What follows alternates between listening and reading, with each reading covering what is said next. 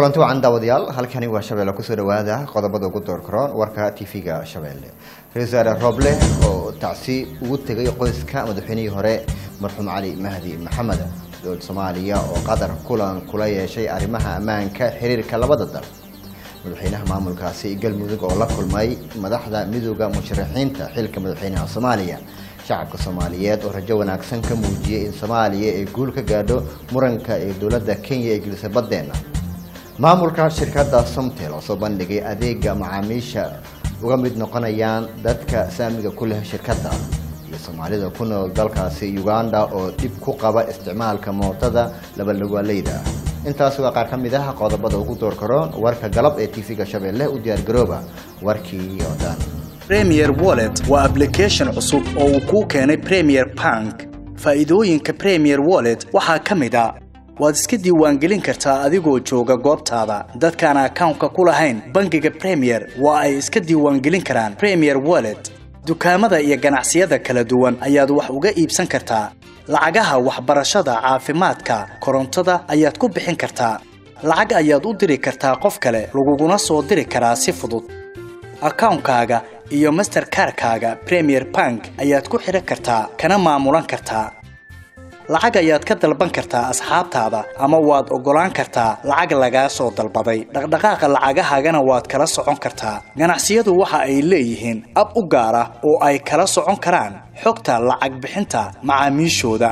Intaa in ka badanba ka hel abka premier wallet oo kala soo deg hadda blay storeka ama ab storeka galab wanaagsan daawadayaal waa lix iyo tobanka bisha saddexaad sanada labada kun koo iyo labaatanka warkii oo dhan.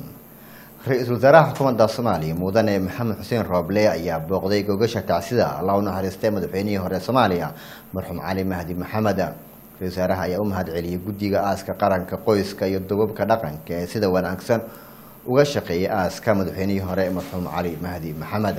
Xase kaafi xaaji maxamed ayaa warkan inoo haya ra'iisul wasaaraha xukuumadda federaalka soomaaliya mudane maxamed xuseen rooble ayaa booqday gogashii tacsida allaha u naxariistay. Madaxweynihii hore ee soomaaliya marxuum cali mahdi maxamed ra'iisul wasaare rooble oo saxiixay boogga tacsida ayaa la kulmay qoyskii iyo qaraabadii marxuumka guddigii tacsida iyo odayaasha dhaqanka ee ka shaqaynayay tacsida marxuum cali mahdi maxamed ugaas maxamuud cali ugaas ayaa uga mahad celiyey wafdigii ra'iisul wasaaraha la socday imaatinka goobta tacsida mahadsan tahay maantana imaanshahaaga waa kaaga mahad celinayna mar kale.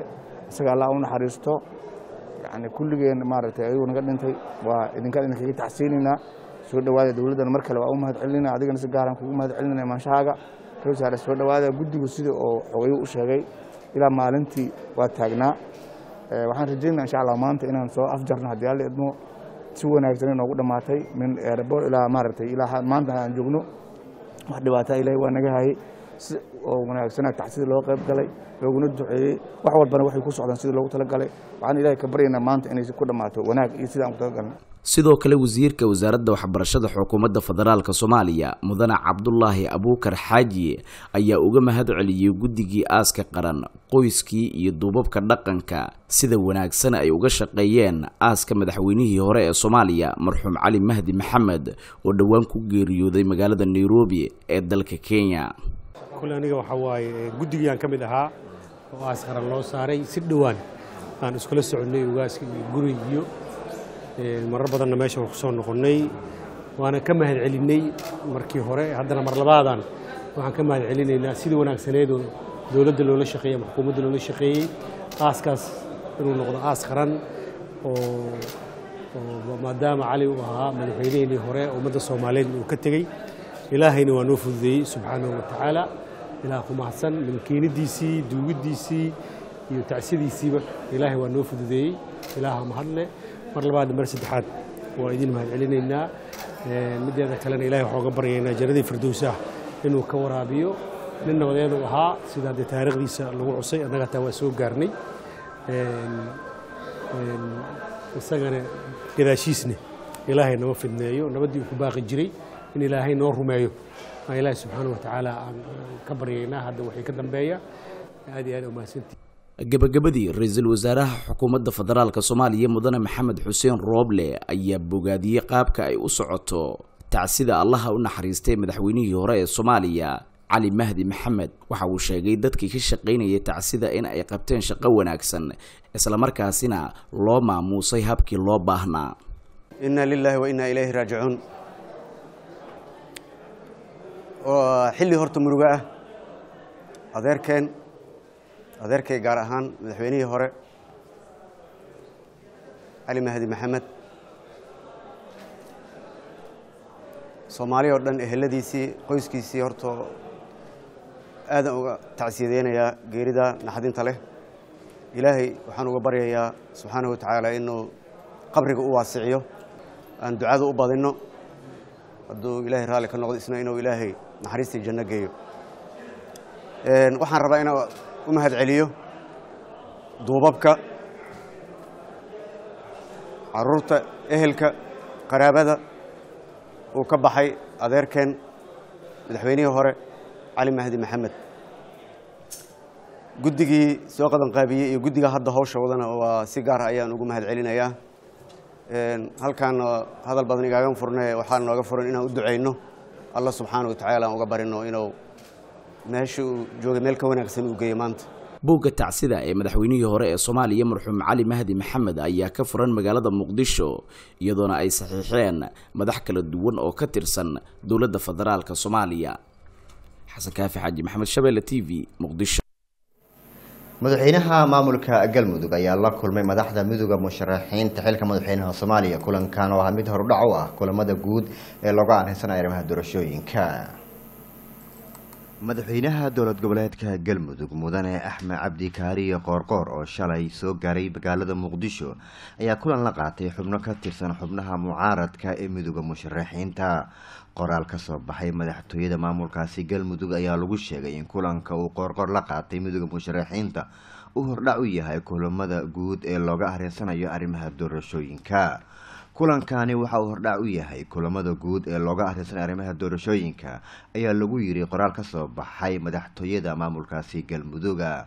Inta uu socday kulanka dhinacyada ayaa waxaa looga hadlay xaalada ugu dambeeyay siyaasadee dalka ee khilaafka hareeyay qabsoomidda doorasho ka dhacdo aan weli heshiis lagu gaarin dhinaca kale madaxweynaha maamulka hirshabeelle cali cabdulaahi cali guudlaawe ayaa goobjoog ka ahaa kulanka dhex maray madaxweynaha maamulkaasi galmudug axmed cabdikaari xubnaha mucaaradka ee midooda musharaxiinta geesa kale madaxweyne axmed cabdikaariye qoorqoor ayaa kulan la qaatay wakiilada qaramada midoobay midooda africa safiirka mareykanka ee soomaaliya iyagoona ka wada hadlay xaalada dalka iyo khilaafka hareeyay iyo qaabkii loo xalin lahaa sidoo kale waxaa kulanka midooda musharaxiinta uu la qaatay madaxweyne axmed cabdikaariye qoorqoor looga hadlay dadaalada beesha caalamka ugu jirta qabsoomidda shirkii lagu dhammaystiraya arrimaha doorashooyinka gaar ahaan heshiiskii toddobiyo tobanka setembar ee sanadii hore labadii kun iyo labaatanka ee muqdisho ay ku yeesheen madaxda maamul goboleedyada iyo dowladda dhexe iyo shirkii guddiga farsamada beedhabe ee lagu soo gabagabeeyey lix iyo tobankii febraayo ee sanadkani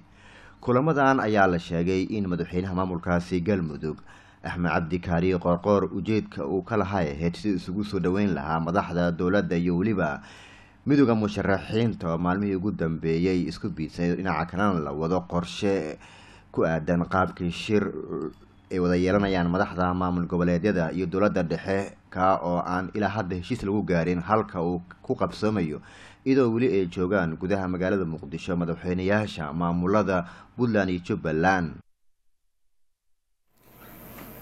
xafladda sanadlaha ee saamileeda shirkadda isgaarsiinta somtel soomaaliya ayaa lagu qabtay magaalada tan muqdisho. Maamulka shirkadda somtel ayaa soo bandhigay adeeg ay macaamiisha uga mid noqonayaan dadka saamiga kuleh shirkadda. Sakari axmed muuse ayaa warkan faahfaahinaya. Xafladda sanadlaha ee saamileyda shirkadda isgaarsiinta somtel soomaaliya ayaa lagu qabtay magaalada muqdisho ee caasimadda dalka soomaaliya. Shirkadda ayaa soo bandhigtay wejiga labaad barnaamij macaamiisha shirkadda ay kaga mid noqonayaan dadka wax ka leh shirkadda si loo ballaariyo adeegyadeeda. Adeegan ayaa waxaa horey loo dahfuray laba kun siddeed iyo tobankii waxaana ka faa'iidaystay dadyow aada u fara badan. Shirkadda ayaa sidoo kale waxaa faa'iidadooda ay siinaysay dadka qaybta ka ah saamileyda shirkadda somtel. Munaasabadii lagu soo bandhigayey ayaa waxaa ka soo qayb galay ganacsato dhakhaatiir dhallinyaro haween aqoon-yahano saamileyda shirkadda madaxda shirkadda somtel iyo dahabshiil group iyo sidoo kale qeybaha kala duwan ee bulshada. Shirkadda isgaarsiinta somtel ayaa fududeysay in dadka ku xihan ay qeyb ka noqdaan saamileyda shirkadda. Cabdulaahi cali caamir madaxa waaxda ganacsiga shirkadda oo goobta ka hadlay ayaa faahfaahin ka bixiyey xilliga la furay saamiga shirkadda.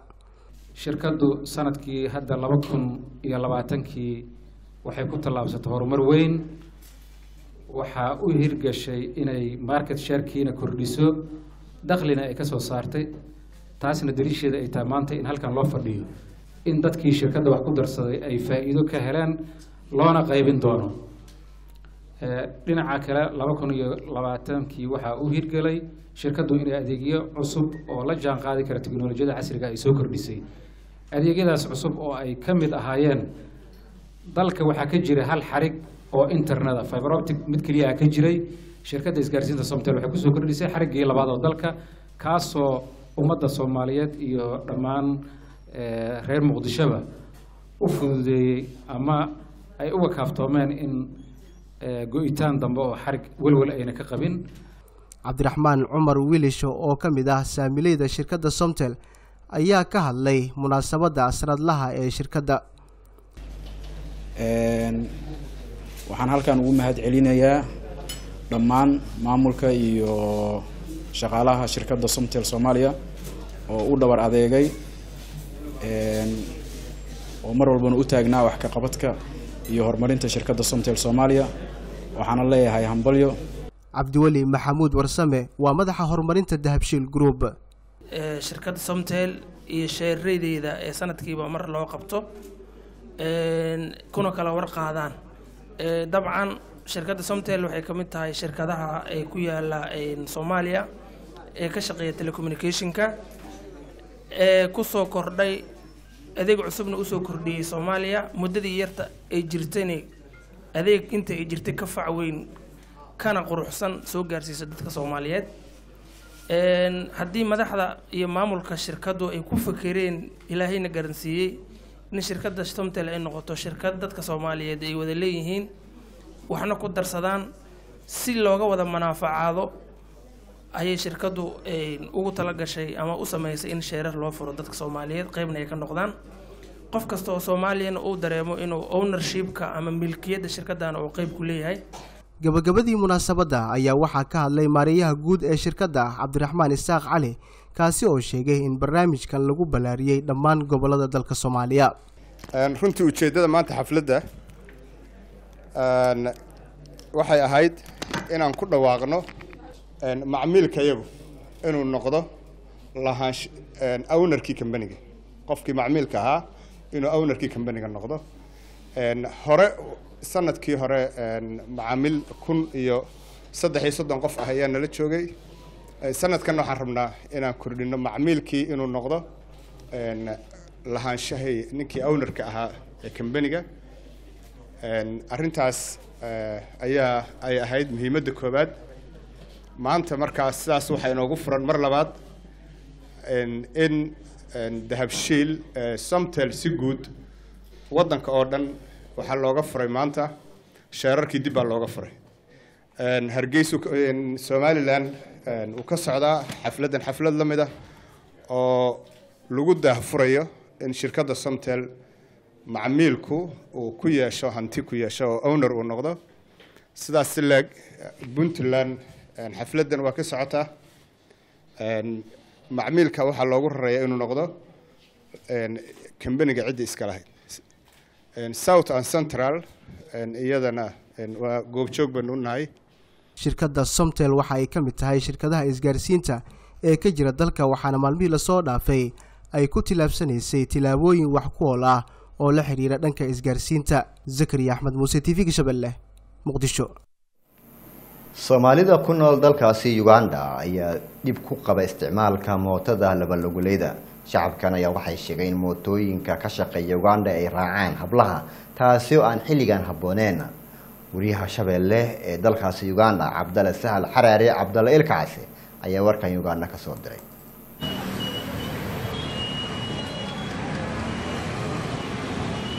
Boodhada ama mootolabalugaaleyda waa gaadiidka ugu badan ee laga adeegsado gudaha dalkan uganda. Magaalada caasimadda ah ee kambaala waxaa deegaamaystay soomaali fara badan oo isugu jira ganacsato iyo dhalinyaro waxbarasho ugu soo hayaamay dalkan inkastoo soomaalidu dalkan ku haystaan nabad iyo waxbarasho haddana waxaa jira caqabado la soo gudboonaada sida khatarta mootolabalugaaleyda taasoo dadka waaweyn iyo dhalinyarada intuba ay dhibaato ku qabaan. Tv-ga shabeelle ayaa wax ka weydiiyey qaar ka mid ah madaxda ardayda dalkan uganda iyo qeybaha kala duwan ee bulshada. Caqabadaha ay kala kulmaan soomaalida uganda ku nool isticmaalka mootolbaalooy aan si dadku u yaqaanaan boodhaboodha hadda jeeraalana laamaha amniga ee dalkan iyo hay'adaha caafimaadka iyo dhaqaatiirtuba waxay ka bixiyaan digniino ku saabsan in maaragtay la yareeyo isticmaalka mootolbaalooy ama boodhaboodhada anigaan kula hadlaya asbuuci hadda la soo dhaafay ahayd shil ku galay marka alxamdulilah ilaah baa isaqiray aad bay u badan tahay shilkeeda. Waxa keenayana waxay tahay in la isticmaalo oy muhurto noqoto waddooyinka oo jaam ah markaad gaari raacda laga yaabo inaad saacado u socoto. Ama taxi markaad qaadato inaad saacado u socoto. Meeshii aad rabtay sidaas ayaad waxaad u isticmaalaysaa inaad maaragtay fududaysato waqtigii kaa dhumi lahaa. Sidoo kale raggu waa biska caadi waa u fududahay dhallinyarada iyo maaragtay laakiin aad ay bahashaan ay u saamaysay isticmaalkeeda. Waa gabdhaha ama hooyooyinka soomaaliyeed. Waayo waxay aad maaragtay ii sheegeen ay khatar u gelisaa markay raacayaan hababkay u raacaan. Oo aad arki karto ayagoo dhinac dhinaca u fadhiya halka annagu aan si daaragtay ahaan u raacayno haddii aan ka hadlo caqabadaha boodhada runtii horta maxaa yidhi lagama maarmo faa'iido waa lagu qabaa. Haddana laakiin waxaa jirta caqabado badan oo ay ku hayso gaar ahaan haddii maxaa yidhi la noqoto dhan walba.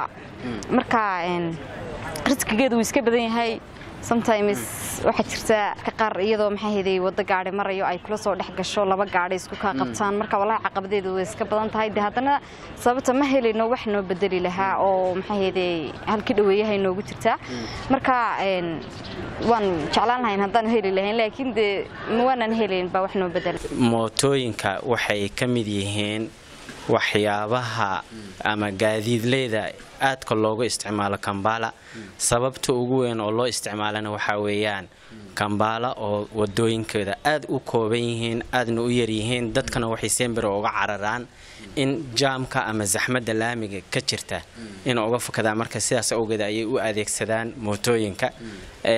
Taas laftirkeeda waxa ay keentaa ardayda iyo dadka kale oo bulshada ay ku nool kambala inay caqabado kala kulmaan shilal badan kala kulmaan taasoo mararka qaarkood ay shilalkaas sababaan boodhooyinka ama mootooyinka ay sababaan dhimasho ardayda iyo dadka ku noolba kambaala haddii ahaan lahayd soomaali iyo dadka kale oo wadankan aan ugu nimaanayba. Magacaygu waa xamdi cabdiqaadir shii qaadan oo ku magacdhega xamdi gob waxaanan ka hadli doonaa dabcan waxa la ii wakeyshtay hiigsi ahaan ama gabdha ahaan dee arday ahaan laba sano maadaama wadanka joogo caqabado badan ay ku qabaan.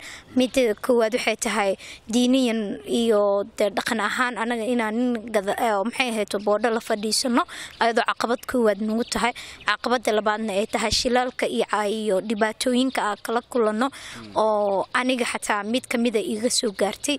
Marka riskigeeda iska badan ma ahane wax kaloo aan dhihi karno ma laha. Haddana saasoo tahay waxaan bedeli karno oon aan ku bedelanana aysan jirin. Allahna ammaansado wax dardaaran ay leedahay boodho ma lahan. Sababtoo wax oo aa gacantaada ku wada maahan wax oo biqadarillah wax walba ay dhici karto waaye oo mar walba aad isleedahay insha allah bisef aa leeyahay gabar walbana ilahay waxaan uga baryaa inay seef ahaato iyo wiil walbaba.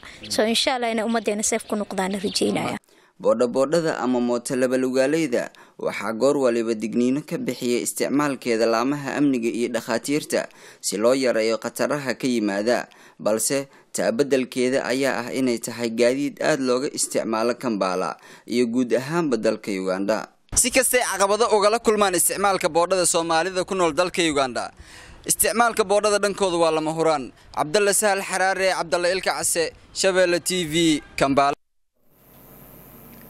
dowladaha soomaaliya qatar ayaa kulan ka yeeshay arrimaha ammaanka ee xiriirka labada dal. Wasiirka amniga xukuumadda soomaaliya xasan xundube jimcaale oo ku sugan magaalada dooxa ee caasimada dalkaasi qatar ayaa kulan la qaatay ra'isul wasaaraha ahna wasiirka arrimaha dibadda qatar sheekh khaalid bin khaliifa bin cabdicasiis al thani kulanka dhex maray wasiir xundube iyo wasiirka sheekh khaalid bin khaliifa ayaa inta uu socday waxaa looga hadlay xoojinta xiriirka wanaagsan ee ka dhexeeya dowladaha soomaaliya qatar ee ku salaysan dhinacyada kala duwan.